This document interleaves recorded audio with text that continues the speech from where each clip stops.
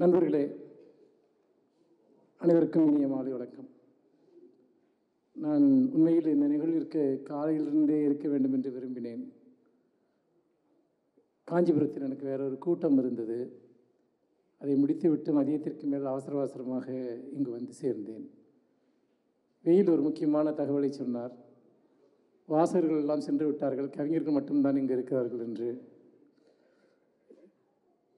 இது நான் என்ன பேசுவது என்ற பதட்டத்தை இன்னும் அதிகரிக்கிறது. அது மட்டுமல்ல சிறப்பு பேச்சாளர்கள் என்று சொல்லி கடைசியாக பேச அழைப்பார்கள். ஒரு முறை அப்படித்தான் எங்களுடைய கூட்டத்தில் சிறப்பு பேச்சாளர் என்று நடிகர் சிவகுமார் வந்திருந்தார். கூட்டம் தீர்மானிக்கப்பட்டிருந்த நேரம் இரண்டரை மணி நேரம். மற்ற பேச்சாளர்கள் பேச்சு முடிக்கிற போது மூன்றரை மணி நேரம் ஆகிவிட்டது. அந்த ஹால் கொடுத்திருந்தவர்கள் அடுத்த கூட்டம் இருக்கிறது கூட்டத்தை காலி செய்யுங்கள் இடத்தை காலி செய்யுங்கள் என்று சொல்ல ஆரம்பித்து விட்டார்கள். சிவகுமார் சிறப்பு பேச்சாளராக அழைக்கப்பட்டிருந்தவர். நன்றி வணக்கம் என்று சொல்லிவிட்டு கிளம்பி போய்விட்டார்.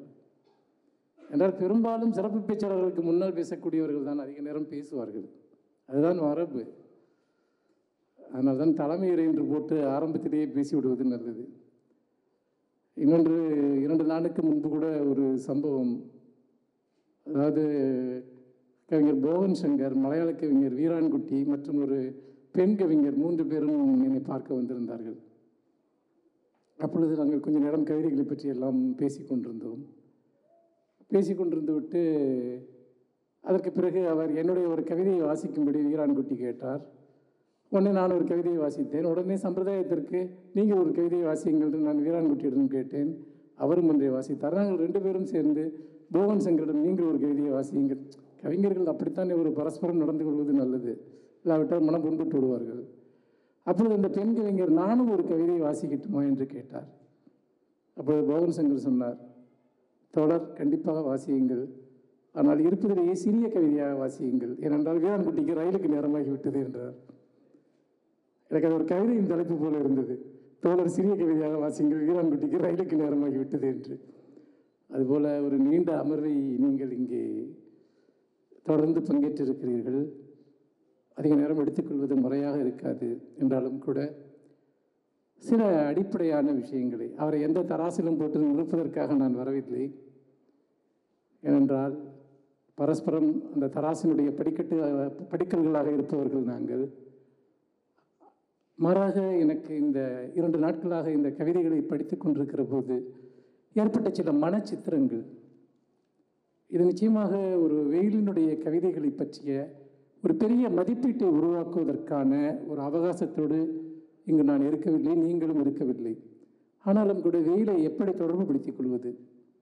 அல்லது வெயிலுடைய கவிதைகளோடு எப்படி உரையாடுவது? அல்லது வெயிலோடு எப்படி உரையாடுவது? நான் மீண்டும் சொல்கிறேன் அவரை கராராக மதிப்பிடுவதோ அல்லது இந்த இடத்தில் நீங்கள் இருக்கிறீர்கள் என்று சொல்வதோ அல்ல. நான் அவரோடு எப்படி உரையாட முற்படுகிறேன் என்பதைத்தான் இங்கு சில மனச்சித்திரங்களை உங்களோடு பகிர்ந்து கொள்ள விரும்புகிறேன். இன்றைக்கு எனக்கு முன்னால் பேசிய நண்பர் வேல்கண்ணன் அவர்கள் ஒரு விஷயம் குறிப்பிட்டார். அதாவது இது ஏதோ ஒரு முனியாண்டி விலாசில் நுழைந்தது போல இருக்கிறது. ரத்தம் குருதி தசை இது போன்ற விஷயங்கள் படிமங்கள் திரும்ப திரும்ப வருகின்றன என்று.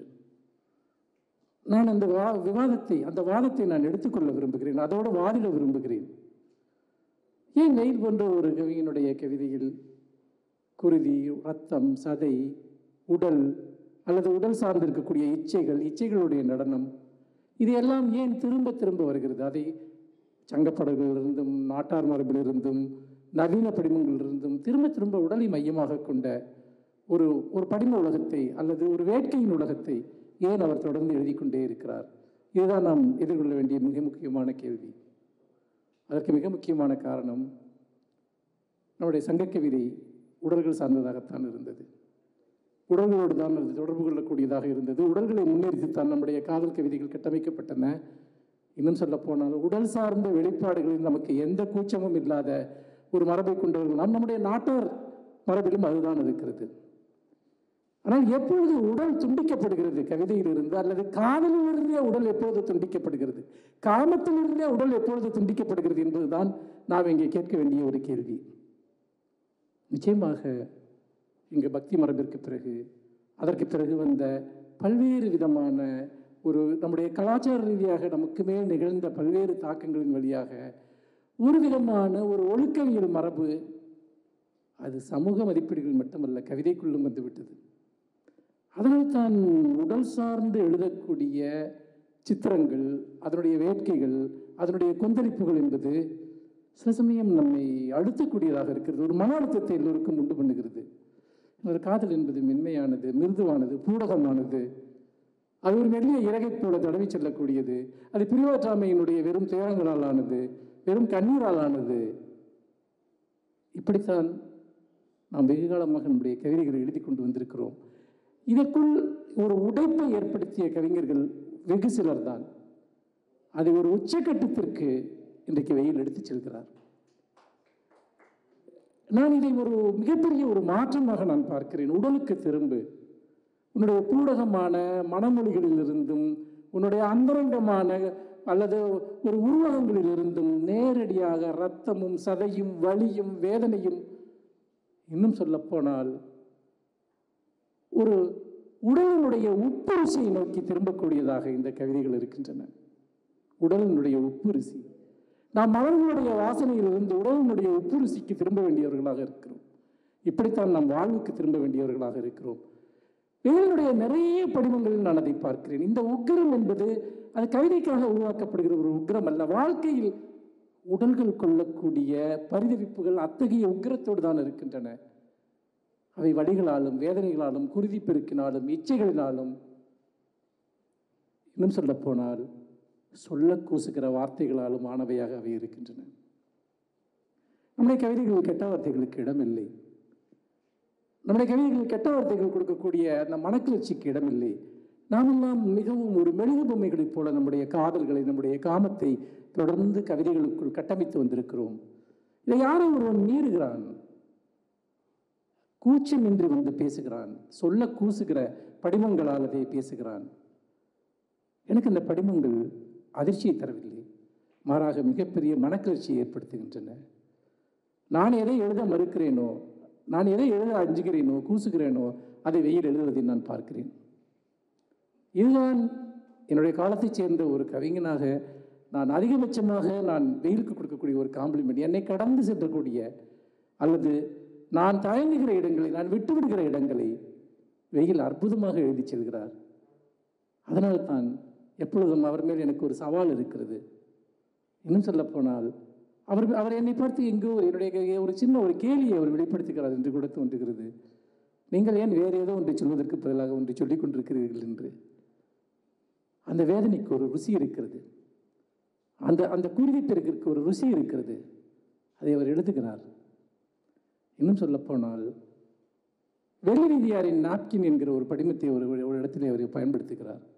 அந்த படிமத்தை பார்க்கிற போது நான் அதிர்ந்து போனேன். எப்படி நாம் காதலை காமத்தை அதனுடைய பூடகத்தன்மையிலிருந்து அதனுடைய தெய்வீகத்தன்மையிலிருந்து விடுவித்து நம்முடைய மரபு சார்ந்த படிமங்கள் ஆளுமைகள் இவர்களை எல்லாம் அதனுடைய தெய்வீகத்தன்மையிலிருந்து விடுவித்து வெள்ளியாரின் நாப்கின் என்கிற ஒரு வார்த்தையை அவர் பயன்படுத்துகிற போது உண்மையிலேயே காலம் வெகுவாக சுழன்று வெள்ளி வீதியார் இன்றைக்கு நம்முடைய காலத்தில் வாழக்கூடிய என்னுடைய வீட்டில் இருக்கக்கூடிய என்னுடைய அண்டை வீட்டில் இருக்கக்கூடிய என்னுடைய சிவகங்கையில் ஒருத்தியாக அவள் மாறுகிறாள். வெள்ளி வெள்ளிவிதியாருக்கு இருக்கக்கூடிய இந்த பிரச்சனையை பற்றி எல்லாம் ஏன் தமிழ் கவிதை அன்றைக்கு பேசவில்லை? வெள்ளிவிதியாரும் அன்றைக்கு பேசியிருக்க முடியாது. வெள்ளிவிதியாருக்காக இன்றைக்கு ஒரு கவிஞன் பேசுகிறான். வெள்ளிவிதியாரை தன்னுடைய ஒரு சக தோழியாக அறிகிறான். தன்னோடு நடக்கக்கூடிய ஒரு பெண்ணாக அவன் அறிகிறான். இந்த இடத்தில்தான் நான் திரும்பவும் அந்த இடத்திற்கு வருகிறேன். நம்முடைய அசலான அந்த ஆர்ஜின் அந்த கவிதை தோன்றும் இடம் மனிதர்கள் எத்தகைய ஸ்திதியில் இருக்கிறார்களோ அத்தகைய ஸ்திதியோடு அதை அணுகுவது என்கிற ஒரு இடத்தில்தான் வேலினுடைய கவிதைகள் அதனுடைய எல்லா சமகால முக்கியத்துவத்தையும் பெறுகின்றன என்று நான் பார்க்கிறேன். இதில் இன்னொரு நான் பார்க்க வேண்டிய பல விஷயங்கள் இருக்கின்றன. நான் இந்த தொகுப்பை நேற்று அவருடைய எல்லா தொகுப்புகளையும் நான் ஏற்கனவே படித்திருந்தால் கூட அந்த தொகுப்பை எல்லாம் நான் பார்த்து கொண்டிருந்த போது பல்வேறு விதமான மன உணர்வுகள் எனக்கு ஏற்பட்டன. அவற்றை தொகுத்துக் கொள்வது என்பது அதற்கு எனக்கு அவகாசம் தேவை.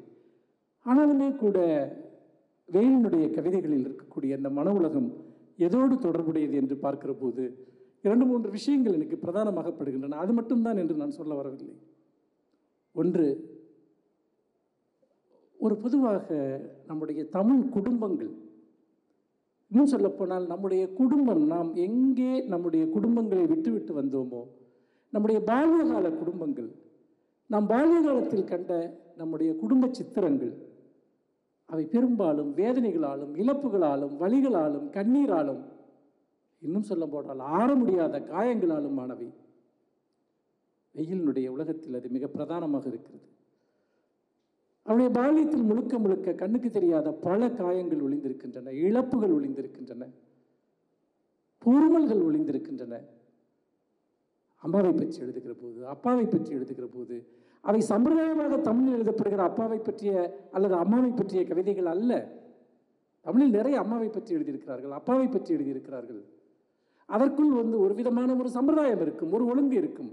அம்மாவை பற்றிய சில புதுமையான சித்திரங்கள் தந்தையை பற்றிய சில புதுமையான சித்திரங்கள். அப்படி அல்ல ஒரு காயப்படுகிற குடும்பத்தினுடைய அல்லது ஒவ்வொரு செங்கலாக உதிர்ந்து கொண்டிருக்கக்கூடிய ஒரு குடும்பத்தினுடைய கதாபாத்திரங்களாக அந்த குடும்பத்தினுடைய ஒரு இன்னும் சொல்லப்போனால் அந்த குடும்பத்திற்குள்ளாக இருக்கக்கூடிய சித்திரங்களாக அவர்களை அவர் உருவாக்குகிறார். அவர் உருவாக்குகிற அம்மா என்னுடைய அம்மாவை ஞாபகப்படுத்துகிறார். அவர் உருவாக்குற அப்பா என்னுடைய அப்பாவை அவர் உருவாக்குகிற தா அக்கா என்னுடைய அக்காவை என்னுடைய சகோதரியை எல்லோரையும் நினைவுபடுத்துவது என்பது அழிகிற குடும்பங்களினுடைய பிரதிநிதிகளாக நாம் வந்திருக்கிறோம் என்பதுதான். உங்கள் பாலியத்தை நீங்கள் திரும்பி பாருங்கள். பாலியத்தை பற்றி நிறைய கட்டுக்கதைகள் தமிழில் இருக்கின்றன. நிறைய பேர் பால்யம் ரொம்ப சிறந்தது என்று சொல்வார்கள். நான் என்னுடைய கவிதைகள் ஒருபோதும் என்னுடைய பால்யத்தை நான் எழுதியதே கிடையாது. எதனால் என்று கேட்டால் அது நான் எழுத விரும்பாத ஒரு பால்யம் அது. நான் எழுதுவதற்கு அஞ்சுகிற ஒரு பால்யம் அது. ஏனென்றால் நம்முடைய குடும்பங்களுக்குள்ளாக நடந்த இறப்புகள் பிரிவுகள் வழிகள் வறுமையினுடைய காயங்கள் இன்னும் சொல்லப்போனால் மனப்பேதளிப்புகள் எத்தனை விதமான வித விஷயங்கள் இதை அந்த குடும்பத்திற்குள் அவர் திரும்பி செல்லவில்லை. அந்த குடும்பத்தை அவர் சீர்தூக்கி பார்க்கிறார்.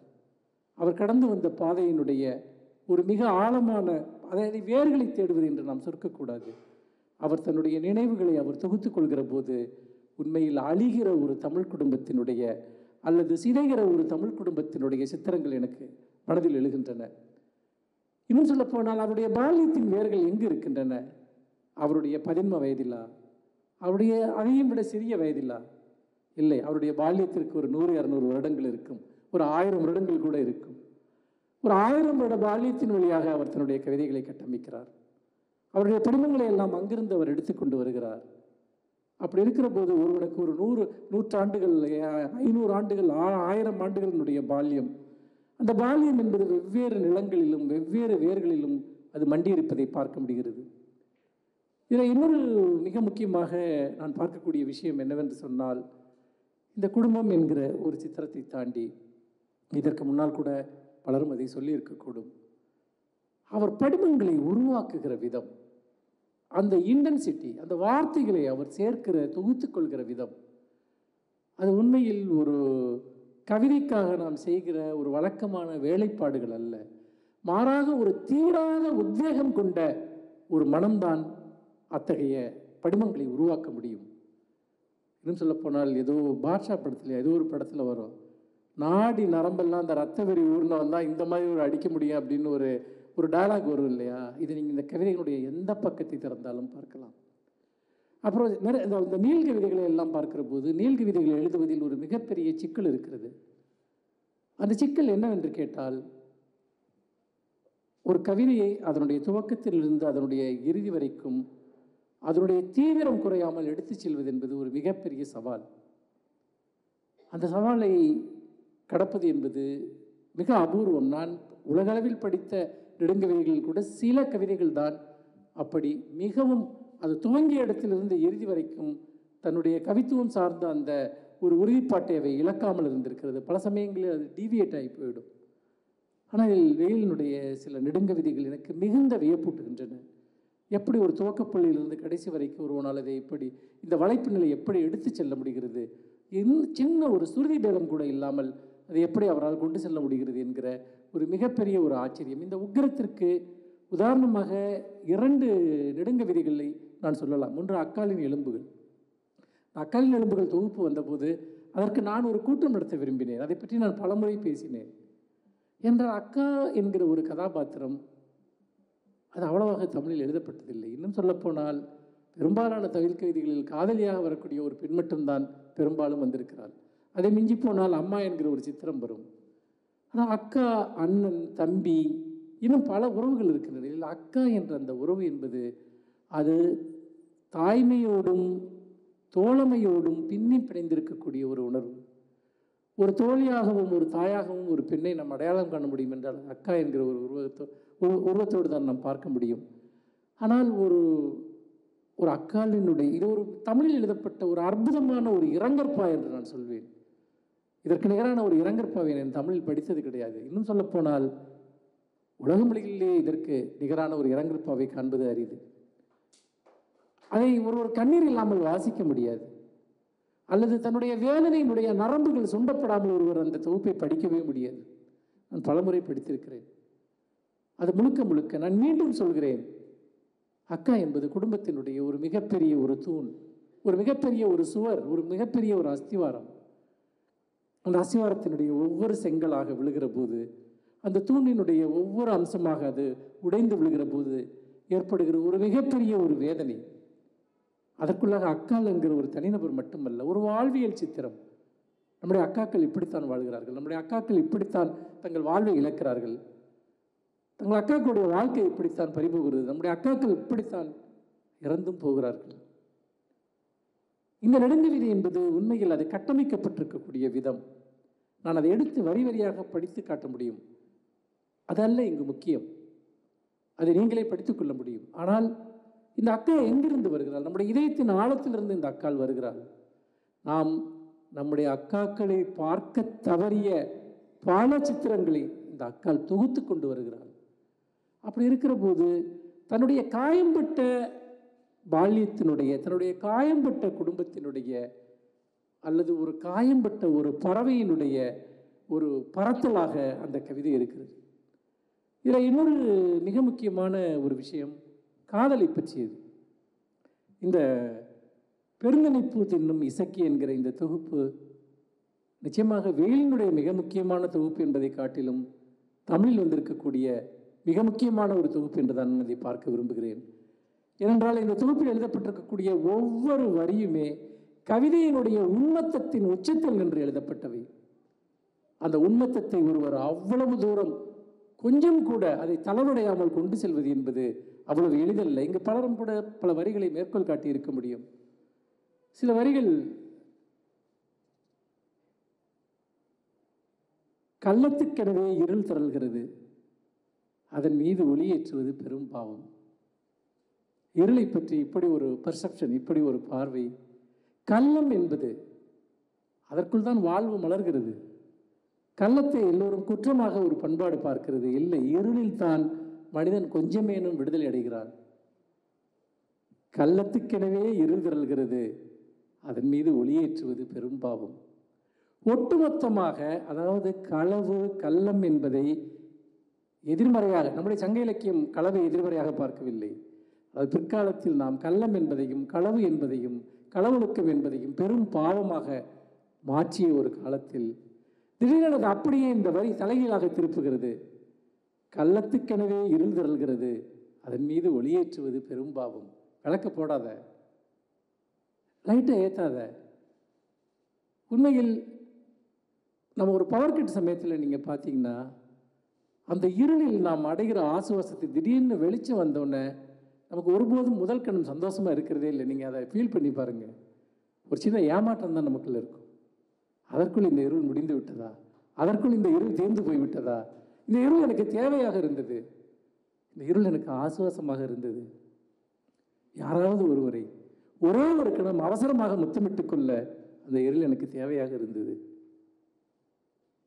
அதில் ஒளியேற்றுவது பெரும் பாவம். இந்த இது- அதாவது இது ஒரு இந்த வரியை அவர் எழுதிவிட்டதற்கு முன்னும் பின்னும் அவர் எதையுமே எழுதவில்லை. ஆனால் இந்த வரி எங்கே நம்மை அழைத்து செல்கிறது? ஒரு கவிஞன் ஏன் தீர்க்கதரிசியாக இருக்கிறான் என்பதற்கு இது போன்ற வரிகள் தான் உதாரணம். தீர்க்கதரிசிகள் நாவலாசிரியர்களைப் போல அல்லது உரையாசிரியர்களைப் போல அவர்கள் பக்கம் பக்கமாக பேசுவது கிடையாது. பின்னால் வருபவர்கள் அதற்கு பொருள் கொள்வார்கள் உரை கொள்வார்கள். அப்படித்தான் இதுவும். இந்த வரி எத்தனை கனவுகளை நமக்குள் திறந்து விடுகிறது? நான் ஏன் ஒரு வரியை வைத்துக்கொண்டு இவ்வளவு பேசுகிறேன் என்று சொன்னால் எனக்கு இந்த நாளுக்கு ஒரு வரி போதும். இன்றைக்கு என்னுடைய நண்பன் கவிஞர் குமரகுருபனுடைய நினைவு தினம். இந்த நாளில் தான் நாம் எல்லாம் இங்கே வருகிற போது அவனை பற்றி நான் நினைத்து கொண்டே வந்தேன். ஒரு அகாலத்தில் இறந்து போன ஒரு நண்பன் ஒரு கவிஞன். அவருடைய ஒரு வரியை நினைத்து கொண்டே வந்தேன். மீன்கள் இறந்த பின்பும் ஏன் உம்மென்று இருக்கின்றன? என்று. குமரகுருபன் எனக்கு அந்த வரி தான் ஞாபகம் வரும். மீன்கள் இறந்த பின்னும் ஏன் உம்மென்று இருக்கின்றன என்கிற அந்த வரி. இன்றைக்கு இந்த வரியை படிக்கிற போது இதுபோல பல சாஸ்வதமான வரிகளை இந்த தொகுப்பு உருவாக்கி இருக்கிறது பல சாஸ்வதமான வரிகளை.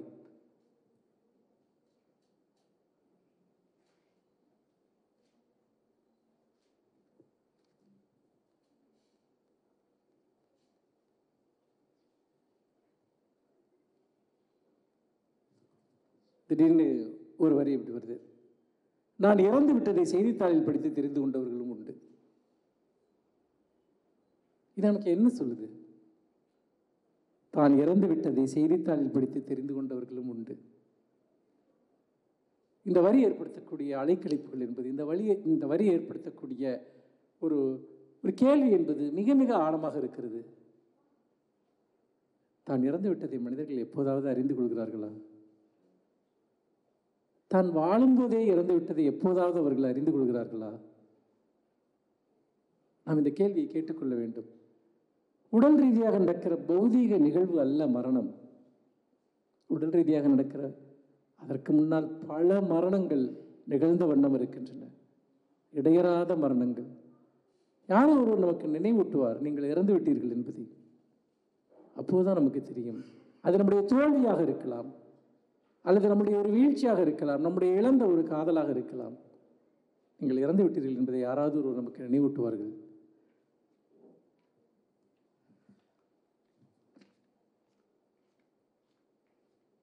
திடீர்னு ஒரு வரி எப்படி வருது. பெண்ணுறுப்பில் ஒத்தி எடுக்கப்பட்ட உப்பை போல மாந்திரிக ஆற்றல் கொண்ட பொருள் வேறு இல்லை ஒட்டுமொத்தமாக காமத்தினுடைய உடல் சார்ந்த இச்சைகளினுடைய ஒரு அதீதமான உக்கிரத்தை இந்த வரி வெளிப்படுத்துகிறது.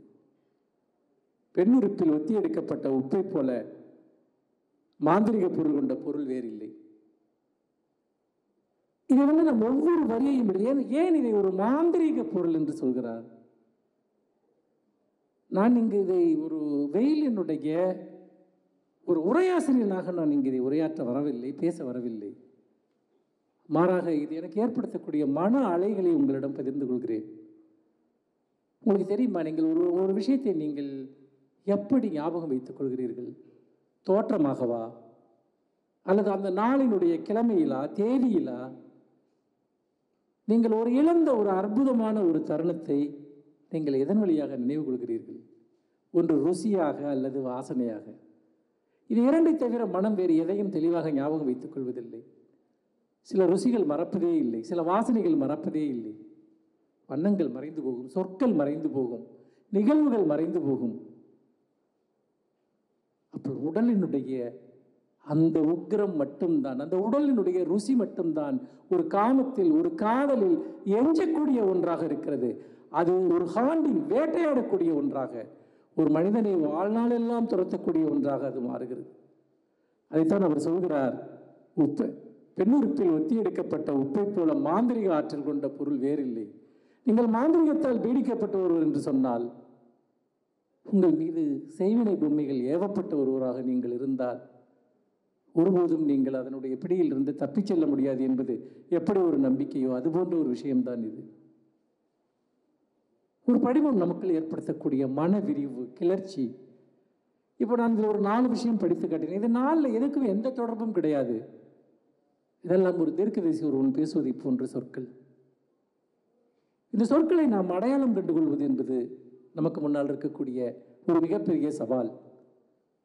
இன்னும் சொல்லப்போனால் நாம் அந்த அந்த சொற்கள் தனக்கான வாசல்களை மிக விரிவாக திறந்து வைத்திருக்கின்றன. அந்த வாசல்களின் வழியாக நாம் எவ்வளவு தூரம் அதற்குள் நடந்து செல்ல முடியுமோ நடந்து செல்லலாம். அதை நம்முடைய அர்த்தத்தினுடைய தராசுகளின் வழியாக உடனடியாக மூடிவிடக்கூடாது. நம்முடைய பதில்களால் கேள்விகளை கொன்றுவிடக்கூடாது. அப்படித்தான் நான் இந்த வரிகளை பார்க்கிறேன்.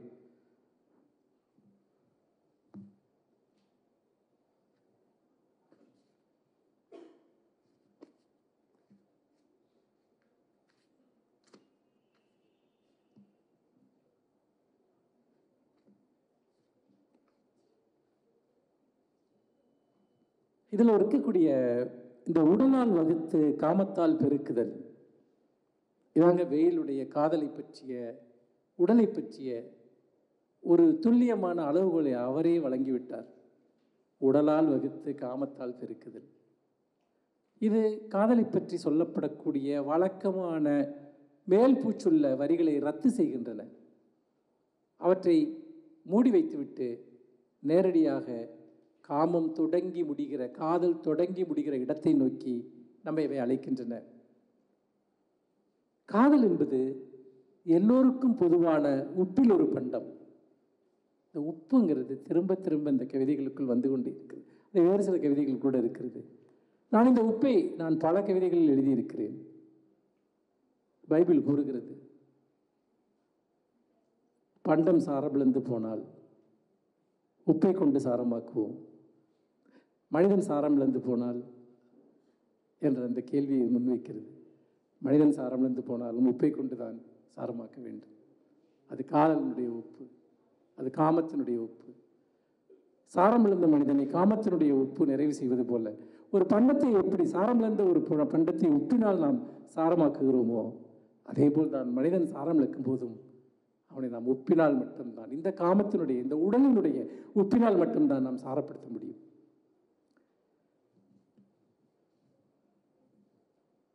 காதல் என்பது எல்லோருக்கும் பொதுவான உப்பில் ஒரு பண்டம். சுவாரஸ்யமான பிள்ளைகளின் புன்னகை இலைமறைவில் கனிந்த நிர்வாணம் என்ன ஒரு அற்புதமான ஒரு படிவம். இலைமறைவில் கனிந்த நிர்வாணம்.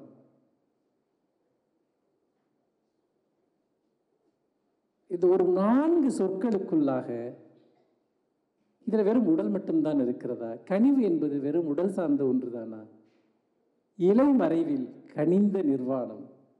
காதல் என்பது மீன் எண்ணெய் விளக்குளியில் எழுதப்படும் மீன்கள் பற்றிய செய்யுள்.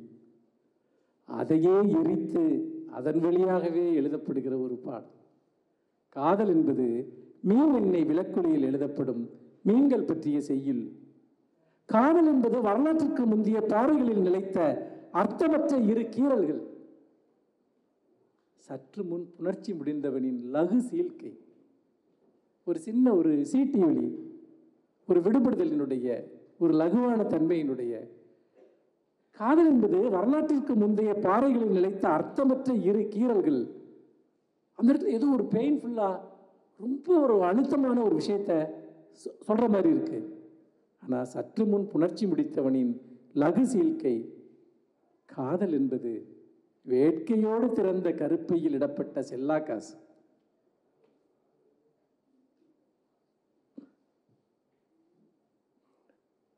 காதல் இன்னொரு அடுத்த யூனிட்ல பாருங்க. காதல் என்பது எரிப்பதென ஓர் உடலை தனியாக ஏந்தி செல்பவனின் தோல்வெளி எப்படி காதலை வந்து எரியூட்டுவதற்காக ஒரு உடலை தனியாக ஏந்தி செல்பவனின் தோல்வெளி கிட்டத்தட்ட ஒரு சவ ஊர்வலம் போல அதை அவர் சித்தரிக்கிறார். அது சவ ஊர்வலம் தானே?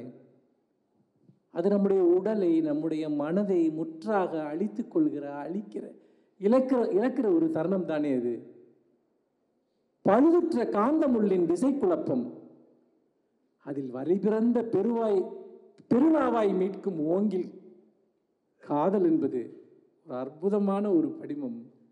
காதல் என்பது பந்தய குதிரையின் காம்பில் பாய்ந்தபடி பால் உறிஞ்சுவது. இதுக்கு மேல் எனக்கு அந்த கவிதையை வந்து வாசிக்க முடியல. இதை படித்துக் கொண்டிருந்த போது பந்தய குதிரையில் பாய்ந்தபடி ஒரு குதிரை மிக வேகமாக ஓடிக்கொண்டிருக்கிறது. அந்த குதிரையினுடைய மடிக்காம்பில் பாய்ந்து ஒரு பால் அருந்துகிற ஒரு சாகசம். அந்த சாகசம் என்பது எவ்வளவு பெரிய ஒரு விஷயம். ஏனென்று கேட்டால் சுந்தரராமசாமி சொல்வார் இல்லையா? வேட்டை நாயின் கால் தடங்களை அதனால் ஒருபோதும் பார்க்க முடியாது என்று. அது போன்ற ஒரு விஷயம்தான். அப்படி என்று சொன்னால் அந்த பந்தய குதிரையில் நீங்கள் பாய்ந்து பால் அருந்துவதற்கு ஒருவனுக்கு எவ்வளவு உண்மத்தமும் எவ்வளவு உக்கிரமும் இருந்தால் மட்டுமே அது சாத்தியம். இது இதற்கு நிகரான ஒரு படிமத்தை இந்த காதல் இப்படி சொல்லக்கூடிய ஒரு படிமத்தை யாராவது எழுதியிருக்கிறார்களா என்று நான் திரும்ப திரும்ப நான் யோசித்து பார்த்து கொண்டிருந்தேன். பொதுவாக அது ஒரு நான் கூட நேற்று வேலிடம் சொல்லிக் கொண்டிருந்தேன். ஒரு தச்சன் வேலை செய்கிற போது இன்னொரு தச்சன் அதை கவனமாக பார்ப்பான் என்று. அப்படி இருக்கிற போது எனக்கு யார் ஏதாவது ஒன்று ரொம்ப ஸ்பெஷலாக எழுதினாலும் இதை போன்ற ஒன்று நிகழ்ந்திருக்கிறதா என்று எனக்கு பார்க்க தோன்றும் கேட்க தோன்றும். அப்படி நிகழவில்லை. அவ்வளவு புத்தம் புதியதாக இன்னும் சொல்லப்போனால் இதை போன்ற ஒன்று எழுதப்பட்டிருக்கிறது என்று சொல்ல முடியாத அளவிற்கு அந்த காதலினுடைய அந்த உக்கிரத்தை அந்த படிமம் பேசுகிறது. காதல் என்பது பிசாசின் இசைக்குறிப்பில் துணிக்கும் தெய்வத்தின் இறைச்சி. நாதசுர துணைக்குள் விளையாடும் ஈக்களின் ஒளிநிழல் விளையாட்டு. என்னங்க இது? நாதசுர துளைக்குள் விளையாடும் ஈக்களின் ஒளிநிழல் விளையாட்டு. இதை நீங்கள் எவ்வளோ துல்லியமா யாராவது பார்த்துருக்கீங்களா? இதை எவ்வளோ பக்கத்தில் இருந்து பார்த்துருக்கீங்களா? நாதசுர துளைக்குள் இருக்கக்கூடிய ஈக்கள் வந்து விளையாடக்கூடிய அந்த ஒளி நிழல் விளையாட்டு. காதல் என்பது வாய் முத்தத்தின் போது நழுவும் பல்செட் எவ்வளவு பெரிய ஒரு அவலத்துக்குள்ள இந்த கவிதை திடீர்னு போய் எழுது பாருங்க. ஒரு ரெண்டு வரைக்கும் முன்னாடி தான் அது பாஞ்சுக்கிட்டு இருக்க குதிரையின் மீது போய் பால் குடிக்கிறதுன்றா? அடுத்த ரெண்டு வரையில் அது வந்து முத்தத்தின் போது நழுவுகிற பல்செட்டுன்னா இது இது வந்து பார்த்தீங்கன்னா இது அந்த வேடிக்கைக்காக இந்த ஒப்புமையை நான் கூறவில்லை. இது இப்படித்தான் நிகழ்கிறது. ஒருபுறம் உக்கரம் காதலினுடைய ஒரு பிரம்மாண்டமான ஒரு உக்கரத்தினுடைய ஒரு நடனம். அடுத்த நிமிடம் அதல பாலாத்தினுடைய வீழ்ச்சி. இதை நீங்கள் நன்றாக யோசித்து பாருங்க. ரொம்ப யதார்த்தமாக இதை நம்ம பார்க்கலாமே. இந்த படம் எதை குறிக்கிறது என்று நான் புரிந்து கொள்கிறேன் என்று அதை அவர்தான் அதை அவர்தான் அப்படித்தான் உத்தேசித்தார் என்றெல்லாம் நான் சொல்ல மாட்டேன். எவ்வளவோ நெருக்கமாக இருக்கக்கூடியவர்கள் எவ்வளவோ அந்தரங்கமாக இருக்கக்கூடியவர்கள் திடீரென ஏதோ ஒரு கணத்தில் ஒருவருக்கொருவர் ஒவ்வாமை கொண்டு விடுகிறார்கள். அந்த ஒவ்வாமையை எது உருவாக்குகிறது என்று கண்டுபிடித்து விட்டால் இந்த உலகத்தில் இருக்கக்கூடிய எல்லா பிரச்சனைகளையும் தீர்த்து விடலாம். அவ்வளவு நேசித்த ஒருவர் அவ்வளவு இணக்கமாக இருந்த ஒருவர் ஏதோ ஒன்று திடீரென ஒரு ஒவ்வாமையை உருவாக்குகிறது. திடீரென காதல் ஒரு பல்செட் நழுவுகிறது நம்முடைய கற்பிதங்கள் நொறுங்கி போகின்றன. ஒருவரை பற்றி இன்னொருவர் கொள்ளக்கூடிய அந்த கற்பிதங்கள் நொறுங்கி போகின்றன. காதல் என்பது அகழாய்வில் கண்டறியப்பட்ட விசாலமான படுக்கையறை நாள் எங்கே போகிறான்னு பாருங்க. கீழடியில் எல்லாம் இப்போ ஆய்வு பண்ணுற இது வரைக்கும் ஏதாவது ஒரு படுக்கை அறை கண்டுபிடிக்கப்பட்டதா ஒரு பெட்டு கண்டுபிடிக்கப்பட்டதா? எனக்கு இதை படித்தப்போ எனக்கு தோணிச்சு வந்துட்டு அந்த காலத்தில் அவர்கள் இது போன்ற உடலுறவுக்காக பயன்படுத்திய இடங்கள் இதுவாக இருக்கு? மெத்தைகள் இருந்தன அல்லது அது சம்பந்தமான ஏதாவது குறிப்புகள் கண்டுபிடிக்கப்பட்டிருக்கிறதா? ஆனால் இங்கே ஒருத்தன் ஒரு அகழ்வாராய்ச்சியின் வழியா இவன் ஒரு அகழ்வாராய்ச்சி பண்ணுறான் காதல் என்பது அகலாய்வில் கண்டறியப்பட்ட விசாலமான படுக்கை அறை. மேலும் அதில் மேலும் அதில் கிடைத்த புத்தனுக்கு முற்காலத்து வசியப்பதுமை. காதல் என்பது உப்பளத்து அம்பார மறைவில் கூலிகள் புனையும் காமத்தின் மீமதுரம். காதல் என்பது மார்பையும் தொடைகளையும் மூடிக்கொள்ள இணையிடம் கேட்கும் புலித்தோல்.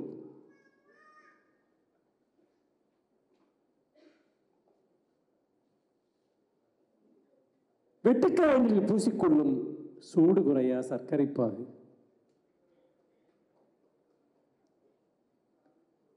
இதெல்லாம் அனுபவிக்கணுங்க ஆராயக்கூடாது சரியா? எனக்கு ரெண்டு வாக்கியம் தோணுச்சு சரி வேணாம் இது இதே நல்லா இருக்கு. இதை போய் எதுக்கு அதை பற்றி பேசணும்னு தோணுது.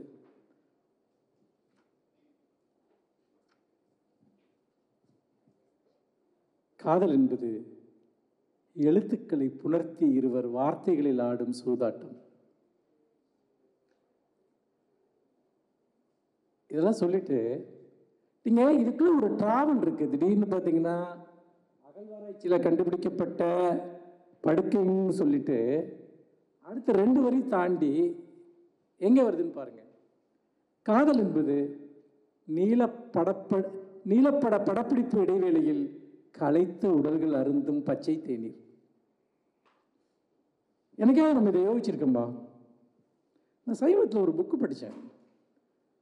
இந்த ப்ளூ ஃபிலிம் இண்டஸ்ட்ரி எப்படி ஆப்ரேட் ஆகுதுன்ட்டு ஒரு முக்கியமான புஸ்தகம். நம்ம பார்க்குற நீலப்படங்கள். அந்த நீலப்படத்தில் வர்ற கதாபாத்திரங்கள் நமக்கு அவர்கள் கிளர்ச்சியை மட்டும் கொண்டு வருகிற சில பிம்பங்களாக இருக்கிறார்கள். ஆனால் அதற்குள் ஒரு வாழ்வியல் இருக்கிறது. அதற்குள் மனிதர்கள் இருக்கிறார்கள். அந்த தொழிலின் போது அவர்களுக்குள் மனதளவில் என்ன நடக்கிறது?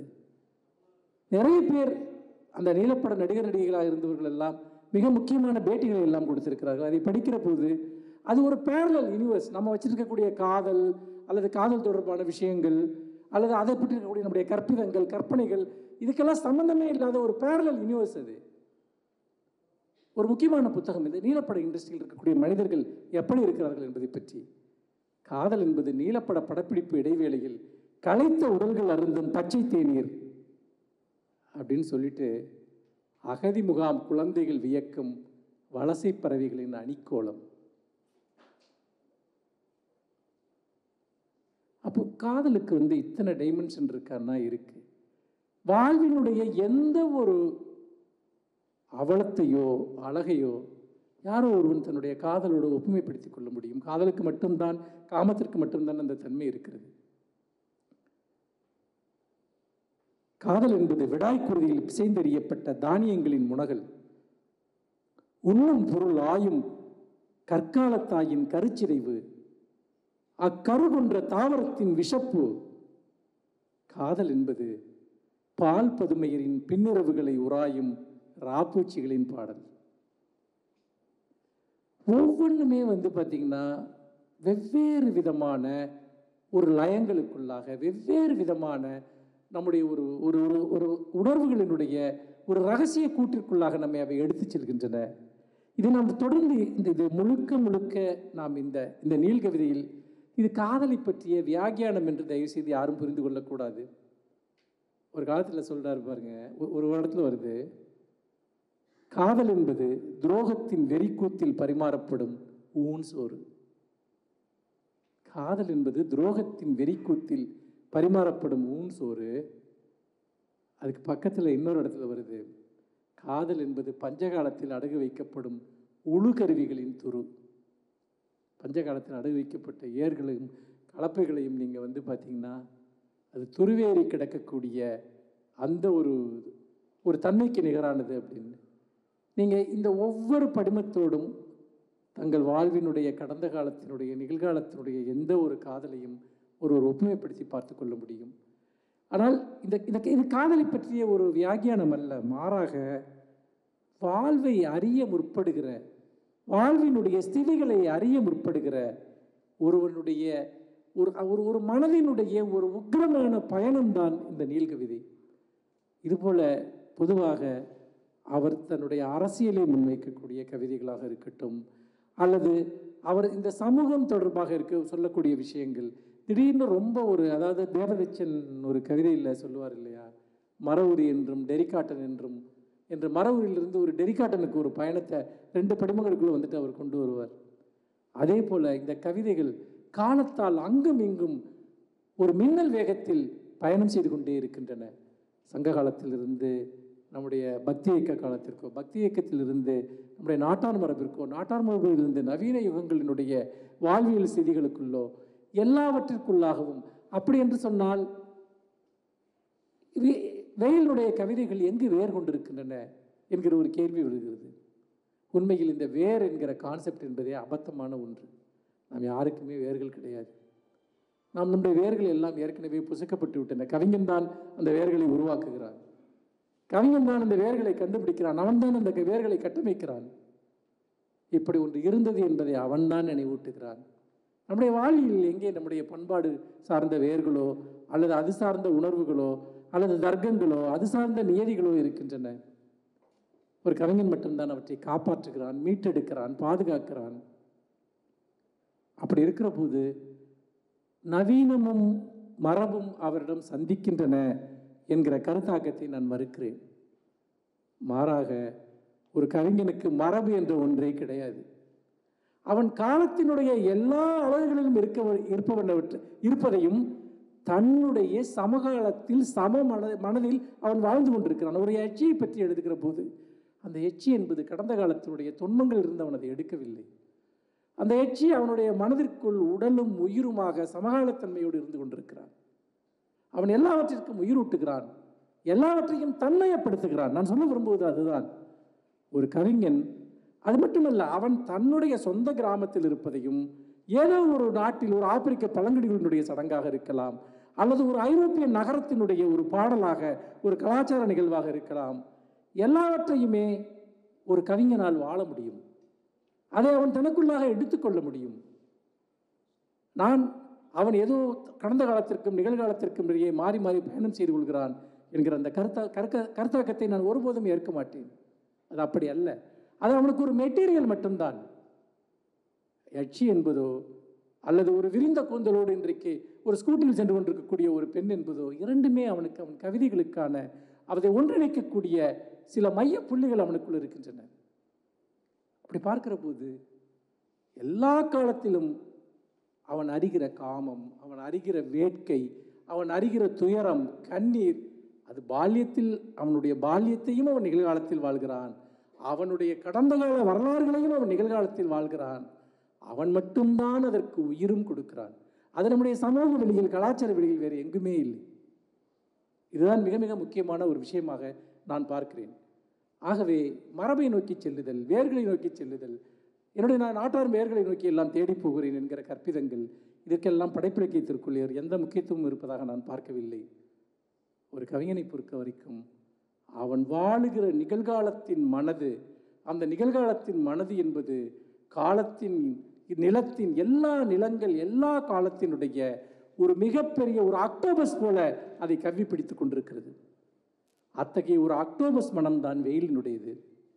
விரைவாக ஒரே ஒரு வார்த்தை சொல்லுகிறேன். நான் என்னுடைய நான் வாழுகிற காலத்தில் நான் எழுதுகிற காலத்தில் மிக மிக முக்கியமான ஒரு கவியாக நான் வெயிலை கருதுகிறேன். இன்னும் சொல்லப்போனால் தமிழ் கவிதையை அவர் அடுத்த இடத்திற்கு கொண்டு சென்றிருக்கிறார். தமிழ் கவிதைக்கு தமிழ் எழுதுகிறவர்களுக்கு அவர் தீராத சவால்களை முன்வைக்கிறார். அந்த சவால்கள் என்பது தமிழ் கவிஞர்கள் எதிர்கொள்ள வேண்டிய ஒரு சவால். இன்னும் சொல்லப்போனால் இந்த பத்தாண்டுகளில் இந்த இருபது ஆண்டுகளில் நவீன தமிழ் கவிதை அடைந்திருக்கக்கூடிய மாற்றம் என்பது கடந்த ஒரு நூற்றாண்டில் தமிழ் கவிதை அடைந்ததை விட மிக மிக அதிகம். இன்றைய நம்முடைய கவிஞர்கள் நம்முடைய இளம் கவிஞர்கள் இந்த ரெண்டாயிரத்திற்கு பிறகு தன்னை முழுமையாக வெளிப்படுத்திக் கொண்ட கவிஞர்கள் அவர்கள் பயணம் செய்த தூரங்கள் மிக மிக அதிகம். நான் முன்னோடிகளை பற்றி குறை சொல்ல விரும்பவில்லை. ஆனால் அவர்கள் அடைந்தவை அவர்கள் சாதித்தவையாக சொல்லப்படுபவை அவர்கள் பயணம் செய்த தூரங்கள் அவையெல்லாம் வெயில் போன்ற இந்த ரெண்டாயிரத்திற்கு பிறகு எழுத வந்த கவிஞர்களுடைய பயணத்தின் முன்னால் மிகச்சிறியதாக இருக்கின்றன என்பதை நான் இந்த இடத்தில் பணிவுடன் நான் சுட்டிக்காட்ட விரும்புகிறேன். நாம் நம்முடைய முன்னோடிகளை ஒருபோதும் மறுக்கப் போவதில்லை. அவர்களுக்கான கும்பாபிஷேகங்களையும் கொடைகளையும் நாம் தொடர்ந்து எடுத்துக்கொண்டு தான் இருப்போம். அதை யாராலும் தடுக்க முடியாது. ஆனால் அவர்களை எல்லாம் தாண்டி மிகப்பெரிய சாதனைகளை இன்றைக்கு இன்றைய காலகட்டத்தில் எழுதக்கூடிய கவிஞர்கள் செய்து கொண்டிருக்கிறார்கள். அதை செய்துவிட்டு தாங்கள் ஒன்றுமே செய்யாது போன்ற பணிவுடனும் அவர்கள் இருக்கிறார்கள் என்பதுதான் இதில் வேடிக்கையான ஒரு விஷயம். அந்த பணிவு அவர்களிடம் இருக்கிறது நல்லதுதான். இல்லாவிட்டால் மூத்த கவிஞர்கள் மனமுடிந்து போய்விடுவார்கள். அந்த வகையில் வெயிலுக்கு அவர் இன்னும் சிறப்பாக எழுத வேண்டும் என்றெல்லாம் வாழ்த்தப் போவதில்லை. அவர் சிறப்பாகத்தான் எழுதி கொண்டிருக்கிறார். அவருடைய ஒரு சக கவிஞனாக இந்த அரங்கில் பங்கேற்றதற்கு அதற்கான ஒரு அனுமதியை தந்ததற்கு இந்த விழா ஏற்பாட்டாளர்களுக்கு என்னுடைய நன்றியை தெரிவித்துக் கொள்கிறேன். நன்றி வணக்கம்.